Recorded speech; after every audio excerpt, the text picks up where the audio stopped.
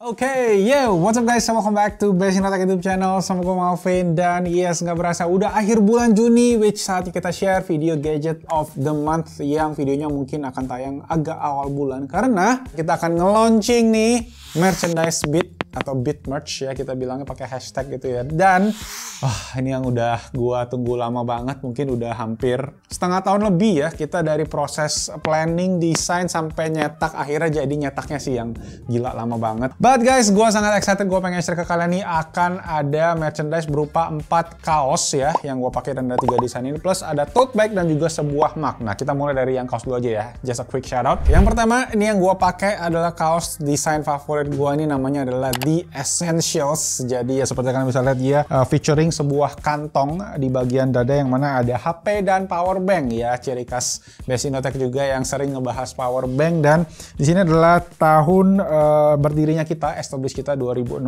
dan ada baterai 92% itu tahun lahir gua. ya karena kita bingung mau taruh angka apa jadi kita taruh angka itu aja. Tapi dari segi desain ini didesain semua sama tim Besi Indotech ya. Ada Haris, ada Roy semua yang ngebantuin. Dan ya ini semua original design kita.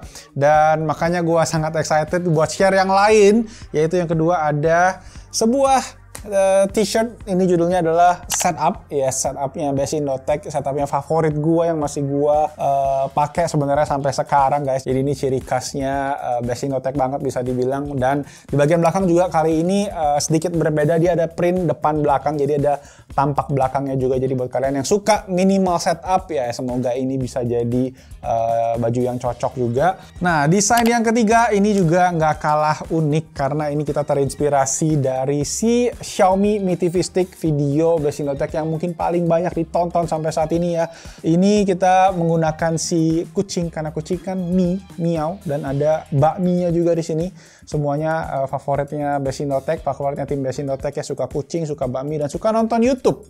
Makanya di sini kita pakainya juga tapi pakai TV kotak karena kan Mi TV Stick fungsinya buat bikin TV yang belum smart jadi smart TV. Makanya ya itulah asal usul dari yang satu ini. Dan satu lagi yang terakhir terakhir adalah keyboard. Ini keyboard uh, judulnya The Mecha. Jadi adalah keyboard custom pertama Beat ya, pertama Basic Indotech yang kita pernah bikin kontennya dan kita jadiin ini sebagai kaos karena gue pengen banget punya kaos. Tapi rata-rata udah banyak yang bikin gitu kan MKBHD, Linus Tech Tips, tapi nggak ada yang bikin layout kayak gini. Ini ada layout 68%, jadi ada arrow keys plus ada kayak beberapa tombol navigasi di atasnya plus ada logo Basic Indotech juga.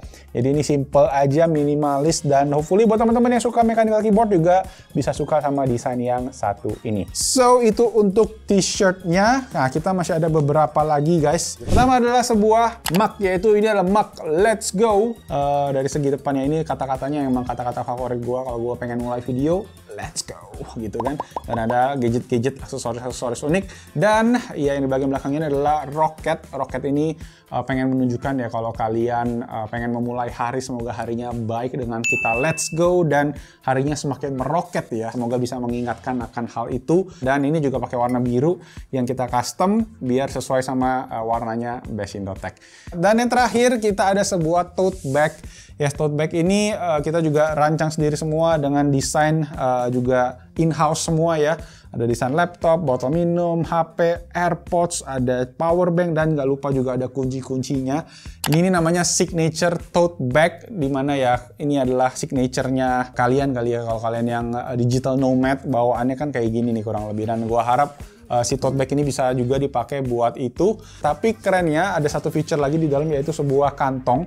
Ya, kantong kecil ini ada zipnya jadi kalian bisa taruh ini buat kunci-kunci, mungkin hal-hal kecil atau HP bisa ditaruh di dalam sini. Dan sebenarnya sih emang lebih tepatnya buat kunci sih, tapi kalau kalian pengen uh, taruh HP ini juga bisa sampai ukuran yang 13 Pro. Dan ada velcro. Jadi kalau kalian pakai ini nih ya bisa ketutup semua biar lebih aman aja. Dan terakhir, bagian belakang tulisan Best Indotech aja itu tadi untuk tote bag ini kita akan rilis warna yang putih slash creamy-creamy ini. Oke, okay, so itu guys untuk Beat Merch edisi 2022 ini. Kalau kalian pengen nanti cek aja linknya gue taruh di bawah. Ini kita jualnya di Tech Store di Tokopedia. Untuk saat ini belum official, tapi nanti semoga bisa official. Dan kalian juga bisa follow toko itu karena biasa juga kita akan ngejual barang-barang X review kita di sana. Oke, okay, jadi langsung aja dicek yang mana kalian suka. Komen di bawah, nanti mungkin kita akan ada giveaway juga aja kali ya. Oke, siap? Setuju semua? Langsung aja dicek linknya ada di bawah dan Yes, gue akan share ke kalian. Gadget of the Month bulan Juni 2022 ini gadget-gadget yang paling seru, yang paling keren yang selama sebulan ini gue coba. Langsung aja tanpa basa-basi lagi kita mulai videonya. Let's go.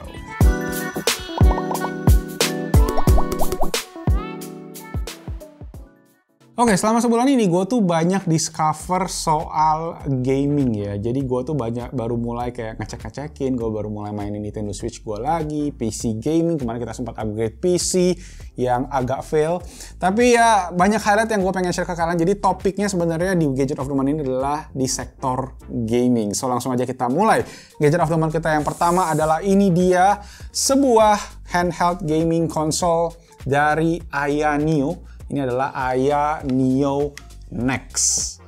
Yes, jadi kemarin gue udah share uh, reviewnya di YouTube channel Basin.tech dan ini juga seru banget. Gue pertama kali punya uh, bisa dibilang kayak gaming handheld PC ya. Ini gaming PC tapi bentuknya kayak gini guys, dibikin kecil banget, dibikin strong, powerful banget dan gue bener-bener uh, dibikin kagum, dibikin stres, dibikin wow, dibikin keki semuanya berasa di sini karena ya kalian mesti apa ngetweet ngetweet kayak gitu tetapi power yang diberikan luar biasa banget. Gue tuh sebenarnya cuma pengen main FIFA. Kalau kalian mungkin udah nonton ya, gue tuh pengen main FIFA di mana aja karena FIFA yang ada di Nintendo Switch yang bisa dibawa ke mana aja itu jelek, itu sampah menurut gue. Makanya akhirnya gue cobain ini dan emang seru banget main FIFA di mana aja itu. Di sini juga bisa main sampai Forza, Forza Horizon 5, 60 FPS bisa main Elden Ring juga kalau gue cek reviewnya. Banyak yang udah review di luar negeri, cuma memang di Indonesia ini susah ditemukan karena memang barangnya ini terbatas. Gue juga belinya dari teman dan bukan dari Indonesia juga dia belinya dia belinya langsung dari Cina. Makanya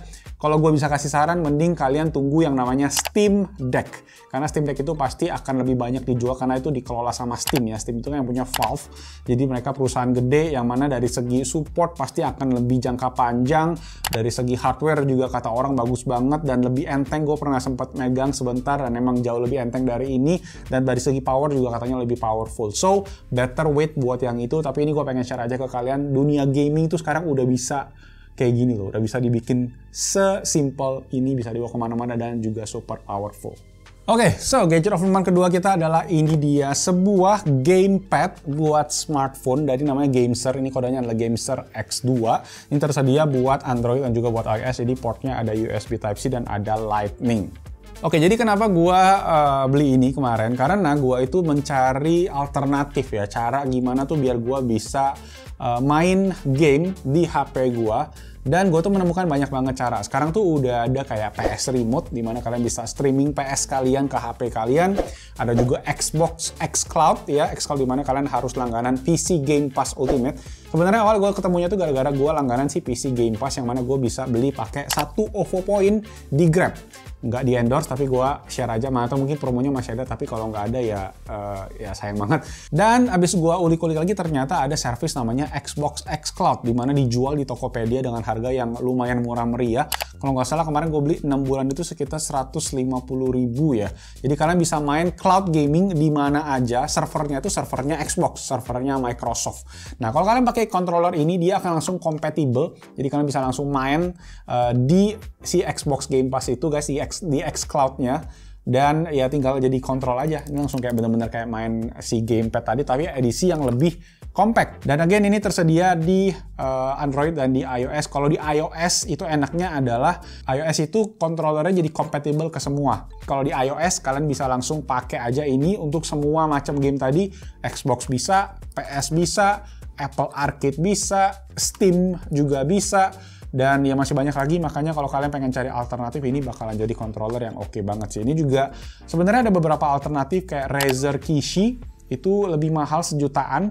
Ini harganya sekitar ribu rupiah aja, ada USB Type-C dan ada Lightning, dan ada yang wireless juga pakai Bluetooth. Tapi ya better pakai kabel aja sih, karena yang kabel kalian juga bisa sambil ngecas Next, gue pengen share ke kalian ini dia controller dari Xbox ditambahkan sebuah holder dari 8-bit do, 8-bit do yang memang didesain khusus untuk si Xbox One S controller ini. Jadi gue tuh kemarin karena gue langganan si uh, Game Pass, gue pikir gue mesti punya controller Xbox karena gue nggak punya controller Xbox sebelumnya karena gue nggak punya Xboxnya gitu. Nah makanya setelah gue beli gue coba pairing dan memang controller Xbox ini asik banget ditambah si holdernya ini. Jadi dari HP yang ukuran iPhone 13 Pro ini masih cukup sampai ke ukuran yang si eh, kayak HP gede S22 Ultra itu juga muat masih di holder ini. Jadi gue pakai ini memang uh, buat kemarin main yang Xbox X Cloud itu dan itu juga oke okay banget. Satu benefit yang gue lihat gue temukan dari controller Xbox dibandingkan sama controller uh, eh, PS ya DualSense atau DualShock adalah Xbox ini bisa multi device langsung. Jadi dia bisa langsung ganti-ganti koneksi ke beberapa smartphone tanpa perlu pairing ulang. Nah untuk harganya memang controller Xbox ini lebih mahal dibandingkan sama yang tadi kayak Gameser si gamepad. Ini startingnya di 900 ribuan. Si holdernya ini di 200 ribu guys, jadi 1,1 juta kalau kalian pengen punya paket mobile gaming yang kayak gini. Dan ini juga compatible buat beberapa games-games uh, di HP seperti Apex, itu bisa kemarin gua tes. PUBG itu nggak bisa, Genshin itu juga nggak bisa. Jadi yang bisa dites baru Apex. Tapi kalian Google aja uh, eh, HP yang support atau game yang support, game mobile yang support dengan controller itu kalian akan temukan banyak list di sana. Oke lanjut ke gadget of the kita yang berikutnya adalah sebuah cooler buat smartphone yang bisa nempel ke magnet, ke magnet MagSafe di iPhone kalian. Ini dari Keep, namanya adalah Keep F4 Magnetic Smartphone Cooler. Nah yang keren daripada si produk satu ini adalah dia itu juga selain kalian bisa mendinginkan smartphone, dia bisa sambil ngecas. Jadi dia tuh ada dapat kabel pendek ini guys, yang langsung bisa masuk ke port lightning yang ada di uh, eh, HP kalian. Kemudian dia juga ada port USB Type-C di bagian bawahnya ini. Jadi dia bisa uh, ngecas HP sekalian mendinginkan juga. Nah, gue sebenarnya nggak ngerekomen uh, buat main game sambil kita ngecas. Kenapa? Karena bikin baterainya panas. Cuma in this case, karena dia ngecas sambil mendinginkan, gue rasa ini kemungkinan bakalan lebih aman buat smartphone kalian. Jadi buat kalian yang sering mobile gaming gitu ya, dan uh, iPhone sendiri memang terkenal juga cukup panas kalau kalian main game-game berat kayak Apex, PUBG gitu. Ya ini bisa jadi solusi yang oke okay banget buat mendinginkan si iPhone. Dan saat ini baru tersedia buat iPhone memang buat yang Lightning, yang Android itu masih belum ada. Nah untuk keep cooler ini guys dijual di harga Rp239.000. Menurut gue ini build quality-nya oke okay banget, bener-bener solid dan berasa cocok banget sama iPhone ya. Terutama yang mana hitam stealthy kayak gini. Dan pastinya ya kalau kalian yang eh, gaming berat, ini bakalan kepake banget sih sambil ngecas, sambil mendinginkan HP. Oke, okay, gadget of kita yang terakhir adalah ini dia. Yes, kenapa gue bawa box AMD Ryzen 9 karena ya yes, harus gue bilang uh, prosesor ini benar-benar memuaskan gue. Kita kemarin uh, udah share ke kalian mungkin bah, kalau udah nonton atau belum kalau taruh aja nanti linknya juga di bawah dan di atas. Kita upgrade PC kita yang udah umurnya 4 tahun pakai si AMD Ryzen terbaru ini guys. Salah satu yang terbaru lah masih seri 5 5900X. Dan kita itu nggak perlu sampai upgrade motherboard. Kenapa? Karena motherboard kita yang 4 tahun lalu itu masih support dengan prosesor terbaru saat ini. Kalau si biru itu kalian harus ganti semua, kalian harus ganti motherboardnya, ganti chipsetnya. Jadi semuanya lebih ribet. Sedangkan di sini ya dia support dari zaman prosesor 4 tahun lalu masih pakai uh, apa mounting yang sama ya AM4 kodenya. Jadi kalian bisa upgrade dari PC kalian mungkin yang masih pakai AMD Ryzen 2000 atau 1000 mungkin ke yang terbaru yang 5000 series ini plus harganya juga semua lagi pada turun guys. Prosesor AMD udah pada uh, lebih murah dari SRP-nya jadi bener-bener rekomend kalau kalian pengen upgrade PC dan harga GPU juga udah mulai normal ya karena crypto lagi lagi uh, kacau. So ya kalau kalian pengen rakit PC ini saat yang tepat bulan Juni, bulan Juli ya. Jadi uh, langsung aja check out ya prosesor-prosesor mereka ini. Gue mau upgrade satu lagi. Oke, okay? itu tadi jadi rekomendasi gadget of kita AMD Ryzen 5 Zen 3 ya Ryzen 9 5900X tapi yang lain juga oke okay banget sih nanti cek aja linknya di bawah.